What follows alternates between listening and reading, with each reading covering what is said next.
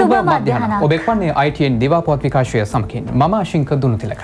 මම දිමුතු ඒකනායක මඩවල මුලින් අවධානය ප්‍රධාන පුවත් සිරස් තල වෙත.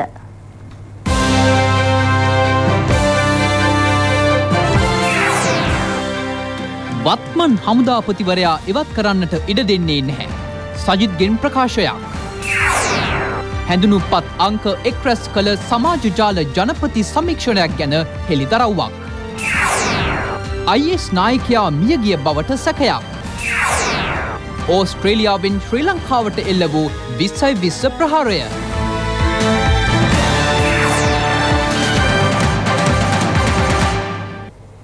වත්මන් යුද හමුදාපතිවරයා ඉවත් කළ යුතු බවට ඇතපුන් බලපෑම් කළද ඒ සඳහා කිසිවෙකුටත් ඉඩ ලබා නොදෙන බව ජනාධිපති අපේක්ෂක සජිත් ප්‍රේමදාස මහතා පවසනවා.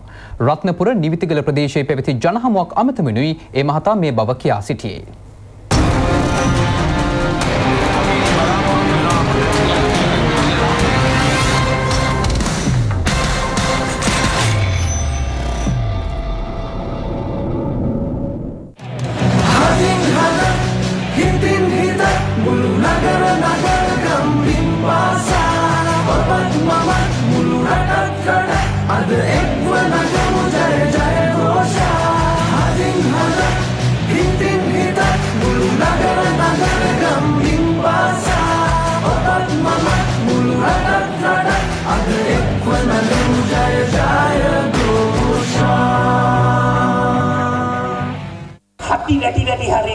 මම මේ රට ගොඩ දානවා. ලොකු ලොක්කො රටේ ජාතික න්‍යාය පත්‍රයේ තීන්දුව කරපු කාලේ ඉවරයි මේ වෙන්නේ මේ රටේ සාමාන්‍ය ජනතාවගේ යුගයයි. ප්‍රකාශ කරලා තියෙනවා සජිත් ඉන්නත් ගෝඨාභය ඉන්නත් රටක් බලපෑම් කරනවලු. ශවේන්ද්‍ර සිල්වා අපේ හමුදාපතිතුමාව ඉවත් කරන්න. හොඳට මතක තියාගන්න. ශවේන්ද්‍ර සිල්වා මැතිතුමා මේ රටේ වීරෝදාර රණවිරුවෙක්. එතුමාගේ මයිල් ගහකටවත් අත තියන්නට මේ සජිත් ප්‍රේමදාසයට දෙන්නේ නැහැ. හැබැයි මිත්‍රවරුනි ඔය චෝදනා කරන රටේ Tamanට පුරවැසි භාගයක් තිබුණා නම් අන්න එතනදී කකුල් මාට්ටු දාන්න පුළුවන්. ශවේන්ද්‍ර සිල්වාවත් පිළිදෙයි. ශවේන්ද්‍ර සිල්වාට කියයි මම නෙවෙයි හමුදා බාර හිටියේ. අර සරත් ෆොන්සේකානේ. හැබැයි මම තමුන්නාන්සලාට කියන්න කැමතියි. සජිත් ප්‍රේමදාස වනාහි අපේ මාතෘභූමියේ ශ්‍රී ලංකාවේ සුපිරි සින්දුවම පුරවැසියෙක් කියන එක මම තමුන්නාන්සලාට කියන්න කැමතියි. මම දෙපැත්ත කකුල් තියාගෙන ඉඳලා නැහැ. හැමදාම රැට මඩ වාහිනී වලින් මට ගහනවා. මම ඒ ඇත්තොන්ට කියන්න කැමතියි. ඔබලා ගහන්නේ ප්‍රේමදාස කෙනෙකුට. ප්‍රශ්නයක් නෑ. ගහන්න ගහන්න ප්‍රේමදාසලා ශක්තිමත් වෙනවායි කියන එක මම මේ අවස්ථාවේ කියන්න කැමතියි. මඩ වාහිනී වලට මේ රටේ ජනතාව රවට්ටන්නට බෑ. මේ මැතිවරණයට ඉදිරිපත් උනේ මන්දිරවල සුරසප විඳින්න නෙවෙයි. මම ඔබතුමන්ලාට පොරොන්දු වෙනවා මේ ජනාධිපති මන්දිර මේ රටේ බදු මුදල් වලින් පෝෂණය වෙන්නේ. අපිට මන්දිර අවශ්‍ය නැහැ. මේ රටේ තියෙන හැම මන්දිරයක්ම ජාත්‍යන්තර මට්ටමේ තාක්ෂණ විද්‍යාල බවට පත් කරලා යෞවන පරපුර වෙනුවෙන් බදු ගෙවන්නන්නේ සල්ලි ටික හොඳට වියදම් කරලා දානය දෙනවයි කියලා මම මේ අවස්ථාවේ කියනවා. මේ අතර නව ප්‍රජාතන්ත්‍රවාදී පෙරමුණේ ජනාධිපති අපේක්ෂක සජිත් ප්‍රේමදාස මහතාගේ ජයතහවුරු කිරීමේ තවත් ජනහමුවක් හෝමාගමදී පැවැත්වුණා. එහිදී අදහස් පළ කළ පාර්ලිමේන්තු මන්ත්‍රී ෆීල්ඩ් මාර්ෂල් සරත් ෆොන්සේකා මහතා. තමුන්නාසලත් එක්ක ජනතා ගීසුමකට ආවා. මේ රටේ තුමා ජයග්‍රහණය කරාට පස්සේ ආරක්ෂක ඇමති දූරය නීති හා සාමය ඇමති දූරය මට බාර දෙනවා කිය. මම ඉතාම ගෞරවෙන් නිහතමානීව නමුත් අභිමානයෙන් එතුමා මගෙන් බලාපොරොත්තු වෙන සේවය මම ඉෂ්ට කරනවා. මම මේ වගකීම් බාර ගන්නවා. ඒ වගකීම බාරගත්තම මධ්‍යවැය උදර සම්පූර්ණයෙන් ඉවර කරනවා. අපි අවුරුදු දෙකක් යන්න ඉස්සෙල්ලා ඒක සහතිකයි තමුන්නාන්සලගේ ආරක්ෂාව අපේ දරුවන්ගේ ආරක්ෂාව 100ක් සහතික කරනවා මේ මාතෘ භූමියට නැවට ත්‍රස්තවාදයකට එන්න අපි ඉඩ තියන්නේ කෘෂිකර්මාන්තයට ප්‍රමුඛස්ථානය ලබා දෙමින් ගොවි ජනතාව ආරක්ෂා කරමින් රට ගොඩනැගීමට කටයුතු කරන බව ශ්‍රී ලංකා පොදු ජන පෙරමුණේ ජනාධිපති අපේක්ෂක ගෝඨාභය රාජපක්ෂ මහතා පවසනවා.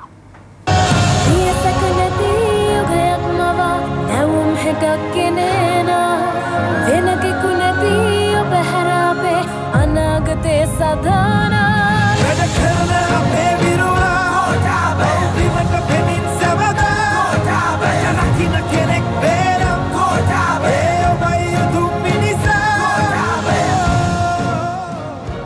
ප්‍රතිපත්ති ප්‍රකාශනයේ ප්‍රකාශ කලා කිසිම බෝගයක් ප්‍රතිඅපනයනය කරන්නට පිට රටවලින් මේ රටට ගෙන්න්න දෙන්නේ නැතෙයි කියන ස්ථාවරත්වය අපි ප්‍රකාශ කර. ඒ ප්‍රතිඅපනයනය කරන්නට ඉඩදීලා තිබෙන නිසා අද ගම්මිරිස් වවන ගොවියන් ආපස් තත්ත්වයකට පත්වෙලා තිබෙනවා. අපේ ප්‍රතිපත්ති ප්‍රකාශනයේ පැහැදිලිව කිව්වා කෘෂිකර්මාන්තය වෙනුවෙන් ප්‍රමුඛත්වයක් ලබා දෙනවා කියලා. අපේ රටේ තුනෙන් එකක් පමණ තවමත් ජීවත් වෙන්නේ කෘෂිකර්මාන්තය මුල් කරගෙන. ඒ හින්දා තමයි ගොවියා මුල් කරගෙන සාන විශාල ප්‍රමාණයක් අපි ලබා දීලා තියෙන්නේ. ගෝටාබේ රාජපක්ෂ මහතා මේ බව කියා සිටියේ දියතලාවේදී පැවති ජනරැලියකට සහභාගී වෙමින්. ශ්‍රී ලංකා පොදුජන පෙරමුණේ හා ශ්‍රී ලංකා නිදහස් පක්ෂයේ ජනතා නියෝජිතීන් රැසක් මෙහිදී ජනහමුව ඇමතුවා. එමෙන්ම ගෝටාබේ රාජපක්ෂ මහතාගේ ජයග්‍රහණය වෙනුවෙන් සහය දක්වන විශාල පිරිසක් ජනහමුවට සහභාගී වුණා. ගෝටාබේ රාජපක්ෂ මහතාගේ ජය තහවුරු කිරීම වෙනුවෙන් සංවිධාන කළ තවත් ජනරැලියක් මහියංගනය වියලුව මීගාකියුල නගරේදී පැවැත්වුණා. විශාල පිරිසක් මෙම ජනරැලියටද සහභාගී වී සිටියා. රැලිය ඇමතු ගෝටාබේ රාජපක්ෂ මහතා.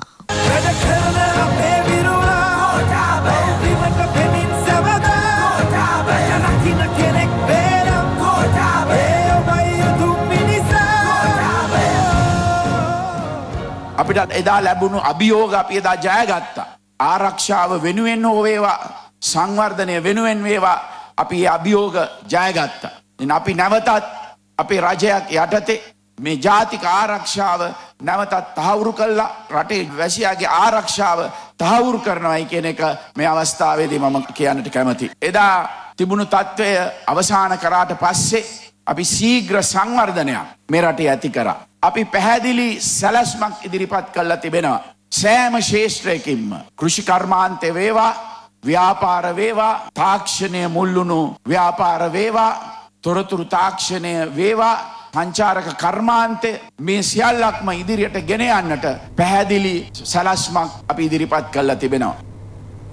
ශ්‍රී ලංකාවේ සුළු හා මධ්‍ය පරිමාණ ව්‍යාපාර සංවර්ධනය කිරීමට ඇති බාධා පිළිබඳව ජනාධිපති අපේක්ෂක අනුර කුමාර දිසානායක මහතා පවසනවා. කොළඹ පැවති වැඩසටහනකට එක්වමිනුයි ඔහු මේ බව හෙළි කළේ. ජාතික ජනබලවේගේ තරුණ සංවිධානය සංවිධාන කළ සුළු හා මධ්‍ය පරිමාණ කර්මන්තකරුවන්ගේ හමුව සහ සංවාදය කොළඹදී පැවැත්වුණා. ඒ ජනාධිපති අපේක්ෂක අනුර කුමාර දිසානායක මහතාගේ ප්‍රධානත්වයෙන්. රෙදිපිලි තේ කුරුඳු ඇතුළු සුළු හා මධ්‍ය පරිමාණ කර්මාන්තකරුවන්ගේ ගැට්ටු පිළිබඳව මෙහිදී සාකච්ඡාවට ලක් කෙරුණා. අපේ රටේ මුහුදින විශාලම ඛේදවාදී. විදේශගත වෙලා ඉන්න බොහෝ අය. යුරෝපේ හෝ ජපානයේ හෝ කොරියාවේ හෝ නේද විදේශගත ඉන්න බොහෝ අය. අවුරුදු 7-8ක් වැඩ කරලා ලක්ෂ 15ක් නැත්නම් ලක්ෂ 50කට අරගෙන ඉන්නවා. අරගෙන ඔහු මොකද කරන්නේ? ඔහුගේ ඉවට අනුව ඒ ඉන්නකොට අහපු දේවල් වුණාට ඇවිල්ලා මේ බිස්නස් කරනවා. එක්ක මඤ්ඤොක් අගා කරනවා. එක්ක පෙට්‍රල් සෙට් එකක් දාන්න උත්සාහ කරනවා. එක්ක හાર્ඩ්වෙයාර් එකක් දාන්න උත්සාහ කරනවා. මම කියන්නේ අවුරුද්දක යනකොට ඔක්කොම පාඩු වෙලා ආපහු රට යනවා. හොයලා බලන්න. ඒ මේවට කිසි මාර්ග උපදේශනයක් දෙන්න වැඩ පිළිවෙලක් නැහැ. ඒ නිසා අපි විශ්වාස කරන එක අපේ සුළු හා මධි පරිමාණ ව්‍යවසායක ක්ෂේත්‍රය ශක්තිමත් කරන්න ඉතාමත් හොඳ දත්ත තොරතුරු මත තිබෙන පුරෝකතනය සමාජයට ගලාගෙන යන්න ඕන. ඒ සමාජ විසින් තමයි අදාළ තැන නිර්මාණය කරගන්න ඕනකම තිබෙන්නේ. මේ අතර ජාතික ජනබලවේගේ ජනහමුවක් කළුතරදේ පැවැත්වුණා. එහිදී අදහස් පළ කළ ජනතා විමුක්ති පෙරමුණේ ප්‍රධාන ලේකම් ටිල්වින් සිල්වා මහතා. දේශපාලන සදාචාර නැහැ දැන් ඔය ශ්‍රී ලංකා පක්ෂ දෙකට කැල්ල තිබුණා. මහින්ද මහත්තයා ගාව ලොකු කැල්ල අරන් ගියා. මෛත්‍රීපාල මහත්තයා පොඩි කැල්ල තිබ්බා. මෛත්‍රීපාල ඔක තියන් ඉඳලා ඉඳලා ඉඳලා අවසානයේ මොකද කරේ? කරන් දෙයක් නැහැ ඉන්න කට්ටිය කෑ ගන්න නිසා අන්තිම තීන්දුවක් ගත්තා ශ්‍රී ලංකා පක්ෂ කට්ටිය ගොඩට උදව් කරනවා කියලා. ඒ තීන්දුවෙන් පස්සේ පළවෙනි රැස්වීම තිබ්බේ කොයිද අනුරාධපුරේ. ගොඩට රාජපක්ෂ මහත්තයා. ඒ පළවෙනි රැස්වීමට ශ්‍රී ලංකා පක්ෂ හිටපු කට්ටිය කියලා නැග්ගා. ඒ නගිනකොට දුමින්ද දිසානක මහත්තයත් නැග්ග අනුරාධපුර නිසා ඒ රැස්වීම. නැගම හොත් කිව්වා. ඊට පස්සේ ওই රැස්වීමේ කතාවක් කරා මහින්ද රාජපක්ෂ මහත්තයා. මේ ආණ්ඩුව අපේ රටේ කෘෂිකර්මාන්තේ විනාශ කරා කියලා කිව්වා. එතකොට දුමින්ද අප්පුඩි ගාව වේදිකන්න. අවුලක් තියෙන්නේ නැද්ද? අවුලක් දැනෙන්නේ නැද්ද? අවුලක් තියෙන මොකක්ද අවුල? දුමින්ද තමයි මේ ආණ්ඩුවේ කෘෂිකර්ම ඇමති. මේ ආණ්ඩුවේ කෘෂිකර්ම ඇමතිකම කරපු දුමින්දත් ගහනවා අරකට අප්පුඩියක්. ඒ නිසා අපි කියන්නේ මේ ගම්වල ඉන්නවනම් ඇත්තට ශ්‍රී ලංකාකාරයෝ. බණ්ඩාරගේ මහත්තයා ඉන්න කාලේ හිටපු ශ්‍රී ලංකාකාරයෝ ඉන්නවනම් දැන් ඒගොල්ලෝ තෝරගන්න මොකද්ද? මෛත්‍රීපාල මහත්තයා ශ්‍රී ලංකාවේ පාවා දුන්නා මහින්ද මහත්තයාට. නිසා ඇත්තට ශ්‍රී ලංකාරුන් දැන් මොකද කරන්න ගම තියෙන්නේ? මේ දෙකට එරෙහිව එකතු වෙන ජාතික ජනබලවේගෙත් එක්ක අපි කියන්නේ එන්න අපිත් එක්ක කියලා.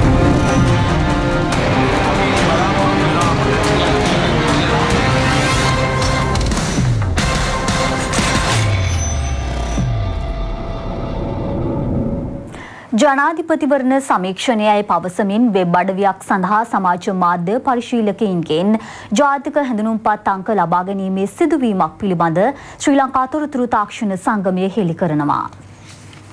තම දේශපාලන මතය ඉදිරිපත් කර ගැනීමේ අරමුණින් යුතුවයි මෙම වෙබ්බඩවිය සඳහා පරිශීලකින්ගේ හැඳුනුම්පත් අංක යොදාගෙන ඇත්තේ. චන්ද දායකින්ගේ පෞද්ගලික දත්ත එක්රැස් කිරීමටද මෙම හඳුනා නොගත් පාර්ශවය කටයුතු කර ඇති අතර ඔවුන් සම්බන්ධයෙන් කිසිදු තොරතුරක් වෙබ්බඩවියේ සඳහන් වඩ නොමැති බවයි ශ්‍රී ලංකා තොරතුරු තාක්ෂණ සංගමය සඳහන් කරන්නේ. අදාළ වෙබ්බඩවිය හිනාමෙන් ෆේස්බුක් පිටුවක්ද ක්‍රියාත්මක වනවා. එහි ක්‍රියාකරුවන් සම්බන්ධයෙන් විස්තර ප්‍රදර්ශනය කිරීමට ෆේස් ෆේස්බුක් සමාගමද අපෝසත් වී ඇති බවයි එම සංගමය වැඩිදුරටත් පෙන්වා දෙන්නේ. මධ්‍යම පළාත් වෘතිය සමිති සම්මේලනය මහනුවරදී පැවැත්වුණා. ඒ නවින් දිසානායක සහ ලක්ෂ්මන් කිරියල්ල යන අමාත්‍යවරුන්ගේ ප්‍රධානත්වයෙන්. වැඩබිම රජබිමක් කරම යන තේමාවෙන් යුතුව එක්සත් ජාතික පක්ෂ සේවක සංගමය සහ යුක්තිය සේනාව එක්වයි මේ සංවිධාන කර තිබුණේ. පූජ්‍ය දඹරම්බිල ස්වාමීන් වහන්සේ සහ දේශපාලන නියෝජිතයින් පිරිසක් මෙම අවස්ථාවට එක්ව සිටියා. අපි එක පැත්තකින් දේශපාලන න්‍යාය ධර්මයකට ඡන්දය ඉල්ලනවා අපේ ප්‍රතිපක්ෂිකයන් දේශපාලන පවුලකට හා පවුල් සූරා කෑමකට ඡන්දය ඉල්ලනවා. මේකයි වෙනස. අපි මාධ්‍ය නිදහස අගය කරනවා ඒ කට්ටිය මාධ්‍ය නිදහස අගය කරන්නේ නැහැ. අපගේ නායකයා සජිත් ප්‍රේමදාස මැතිතුමා ඉතාමත් පැහැදිලිව ජනතාවාදී ප්‍රතිපත්ති අනුගමනය කරනවා. 2014 ඉන්ධන මිලත් එක ගලප්පන්, හාල් සීරුවත් එක ගලප්පන්, එදා සාඩි පින් එකත් එක ගලප්පන්, ගෑස් එකත් එක ගලප්පන්, හැම එකක්ම ගලප්පන්. ඒ හැම එකක්ම එදාට වඩා අඩුයි. ඒ නිසා තමයි මහින්ද රාජපක්ෂට ගෝඨාභයගේ වේදිකාවක් ගානේ පතුරු ගැලවිච්ච ලොකු ලුණු ගෙඩියක් විතරක් එකාතගත් අනික් අතෙන් තමන්ගේ ජපමාල අර ගැජට් කෑල්ලක් අතේ මිරික මිරික තමයි කියන්නේ හරිම ගණන් වැඩි මේ ලුණු කියනවා. අද ආණ්ඩුව මිනී මරන්නේ අද ආණ්ඩුව මංකොල්ල කන්නේ නැහැ. විනිශ්චයකාරවරුන්ට පහර දෙන්නේ නැහැ. මාධ්‍යවේදීන්ට පහර දෙන්නේ නැහැ. අද ආණ්ඩුව සීලාචාර ආණ්ඩුවක් හැටියට අපිට ආරම්භ වෙන්න පුළුවන්. 2015 කරගත් ලොකු වැරද්ද තමයි මෛත්‍රීපාල සිරිසේන මැතිතුමාට විරුද්ධව වැඩ කරපුවා. පාර්ලිමේන්තුව අසුරක්වත් දිනා ගන්න බැරි වෙච්ච අය. පාර්ලිමේන්තුවටපත් කළා කැබිනට් එකට ගන්න. මොකද්ද කිව්වේ? ආපු දායි නම් කකුලෙන් ඇත්ත. ලෝපුරා හින්දු බැතිමතුන් මහත් බැතියෙන් සමරන දීපවාලී උත්සවය අදයි. සුරාසුර සටනින් නපුරත් අයහපතත් පරදවා යහපතට ජයාත් කරදුන් ඓතිහාසික සිදුවීමක් සිහි කිරීම දීපවාලී සැමරුමේ අරමුණයි. දීපවාලි උත්සවය වෙනුවෙන් ජනාධිපති මෛත්‍රීපාල සිරිසෙන මැතිතුමා සුබ පැතුම් එක් කර තිබෙනවා. මානව අවගුණයන්සේ සැලකෙන මමත්වය ඉරිෂාව කෝපය සහ ක්‍රෝධය ඉක්මවා සාමය සමගිය හා ප්‍රේමය ආදී යහගුණයන් ජීවිතයට එක්කර ගැනීමේ අපේක්ෂා පෙරදැරිවයි හින්දු බැතිමතුන් දීපවාලි සමරන්නේ. ඒ වෙනුවෙන් සුබ පැතුම් එක් කරන්නට ලැබීම පිළිබඳව බෙහෙවින් සතුටට පත්වන බව ජනාධිපතිතුමාගේ පණිවිඩයෙහි දැක්වෙනවා. සංහින්දියාවේ අපේක්ෂා පෙරදැරිව අන්‍යෝන්‍ය අවබෝධය ඇතිකර ගැනීම සඳහා මෙබඳු සංස්කෘතිකාංග බෙහෙවින් ඉවහල් වනු ඇති බවයි එම පණිවිඩයේ දැක්වෙන්නේ. අග්‍රාමාත්‍ය රනිල් වික්‍රමසිංහ මහතාගේ දීපවාලි සුබ පැතුම් පනිවුඩියේ දැක්වෙන්නේ මිනිසා සහ සමාජය තුළ පවතින අයහපත නැමැති අන්ධකාරය පලවා හැර යහපත නැමැති ආලෝකය දල්වා ගත යුතු බවයි. බෙහෙද බින්න වීමට දහසක් හේතු මතු වෙද්දී සිත් සතන් තුළ ප්‍රඥා ලෝකය දල්වාගෙන එක්සත්ව සාමයෙන් සමගින් දිවිගෙවීම සැමගේ වගකීම බවයි අග්‍රාමාත්‍යවරයා එමගින් පෙන්වා දෙන්නේ. විපක්ෂනායක මහින්ද රාජපක්ෂ මහතාද දීපවාලි වෙනුවෙන් සුබ පැතුම් එක් කර තිබෙනවා. මනුෂ්‍යත්වයේ පරම අභියෝගය වන්නේ අවිඥානීය අඳුර බිඳ තබා ප්‍රඥාව නැමැති ආලෝකය දසත පැතිරවීම බවයි එම පණිවිඩයෙහි දැක්වෙන්නේ. සියලුම ජාතීන් අතර සුහදතාව සහ සමානාත්මතාව අගයමින් ලොවපුරා හින්දු බැතිමුතුන් සමරන දීපවාලි වඩා අර්ථවත් සහ සාමය සතුට පිරි උත්සවයක් වේවායි විපක්ෂනායකවරයාගේ එම පණිවිඩයේ වැඩිදුරටත් සඳහන්. මේ අතර දීපවාලි සැමරුම් උත්සව රැසක් ප්‍රදේශ කිහිපයකදී පැවැත්වුණා. වවුනියාව සිත්ති විනයාගර කෝවිලේ සහ කුරුමංකාඩු කාලි අම්මාන් කෝවිලේදී හින්දු බැතිමතුන් දේව ආශිර්වාදය පතා ආගමික වතාවත්වල නිරත වුණා.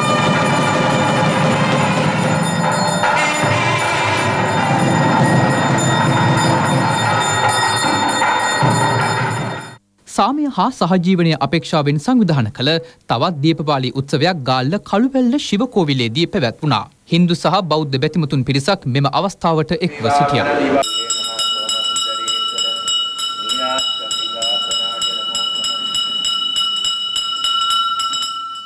දීපවාලි වෙනුවෙන් හැටන් ශ්‍රී මානික පිල්ලයාර් කෝවිලේදී විශේෂ උත්සවයක් පැවැත්වුණා.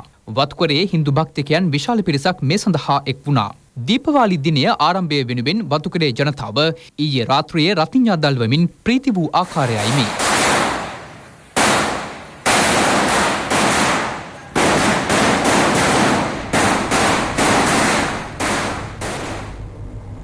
දිවයිනේ බොහෝ ප්‍රදේශවල වැසිතත්වයේ වර්ධනයක් අපේක්ෂා කළ හැකි බව කාලගුණ විද්‍යා දෙපාර්තමේන්තුව නිවේදනය කරනවා. ශ්‍රී ලංකාවට ගිනිකොන දෙසින් වායුගෝලයේ පවතින කැළඹිලි ස්වභාවය හේතුවෙන් අද දින සිට දිවයිනේ විශේෂයෙන් උතුරු නැගෙනහිර උතුරු මැද සහ ඌව පළාත්වල වැසිතත්වයේ වර්ධනයක් බලාපොරොත්තු වෙනවා. දිවයිනේ බොහෝ ප්‍රදේශවල අහස වලාකුළින් බරව පවතිනු ඇති. අද දිනේ උතුරු නැගෙනහිර උතුරු මැද සහ ඌව පළාත්වල වැසි හෝ ගිගුරුම් සහිත වැසි තමයි අපේක්ෂා කරන්නේ. එම ප්‍රදේශවල ඇතැම් ස්ථානවලට විශේෂයෙන්ම නැගෙනහිර පළාතේ පොළොන්නරුව සහ මුලතිව් දිස්ත්‍රික්කවලත් ඇතැම් ස්ථානවලට මිලිමීටර් 100ක් 150ක පමණද අනිකුත් ප්‍රදේශවල ඇතැම් ස්ථානවලට මිලිමීටර් 100ක පමණද තද වර්ෂාපතනයන් ඇතිවීමේ හැකියාවක් පවතිනවා. දිවයිනේ අනිකුත් ප්‍රදේශවල සවස් කාලයේ හෝ රාත්‍රී කාලයේ වැසි හෝ ගිගුරුම් සහිත වැසි ඇති වෙන්න පුළුවන්. මධ්‍යම සබරගමුව ඌව සහ උතුරු මැද පළාත්වල ඇතැම් ස්ථානවල උදෑසන කාලයේදී මේදුම් සහිත තත්ත්වයක් බලාපොරොත්තු විය හැකියි. ගිගුරුම් සහිත වැසි සමග ඇතිවිය හැකි తాවකාලික තද සුළං වලින් සහ අකුණු මගින් සිදුවන අනතුරු අවම කර ගැනීමට අවශ්‍ය පීවර ගන්නා ලෙස ජනතාවගෙන් කරුණික විල්ලා සිටිනවා.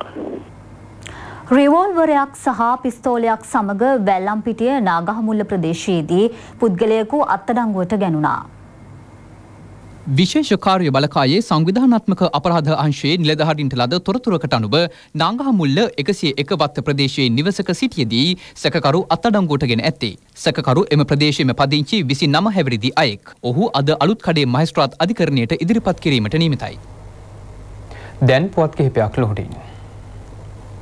ශ්‍රී ජයවර්ධනපුර බාලිකා විද්‍යාලීය සිසුවියන්ගේ දෙදහස් දහ හත දෙදහස් දහ අට කුසලතා ඇගීමේ ද්විවාර්ෂික ත්‍යාග ප්‍රධානොත්සවය එම විද්‍යාලීය ශ්‍රවණාගාරයේදී පැවැත්වුණා. ඒ බස්නහිර පළාත් අධ්‍යාපන ලේකම් ප්‍රදීප් යසරත්න මහතාගේ ප්‍රධානත්වයෙන්. මෙම අවස්ථාවට විදුහල්පතිනි එන්ජී සුරේනිකා සිරිවර්ධන මහත්මිය ඇතුළු පිරිසක් එක්ව සිටියා. ගින්නක් හේතුවෙන් මුළුමනින්ම විනාශයට පත් වූ කොළඹ මියසියස් විද්‍යාලයේ ශ්‍රවණාගාරය සහ ගෘහස්ත ක්‍රීඩා සංකීර්ණය ප්‍රතිසංස්කරණය කර යළි සිසු අයිතියට පත් කෙරුණා. මේ සඳහා වැෑකරුණු මුදල රුපියල් ලක්ෂ නම දහසක් සර්වරාත්‍රික පිරිද්දේශනයක්ද පැවැත්වුණා. මෙම අවස්ථාවට මියසිස් විද්‍යාල විදුහල්පතිනි නෙළුම් සේනාධීර පාලක සභාවේ සභාපති අජිත්ද සොයිසායන මහත්ම මහත්මින් ඇතුළු පිරිසක් එක්ව සිටියා.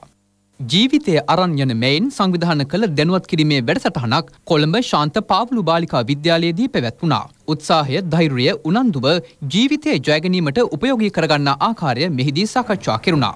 විදුහල්පතිනි සුමේදා ජයවීර මහත්මිය ඇතුළු පිරිසක් මෙම අවස්ථාවට සහභාගී වුණා. ඒ සමගින් ප්‍රවෘත්ති අවසන්. ඔබට සුබ දවසක්. www.itnnews.lk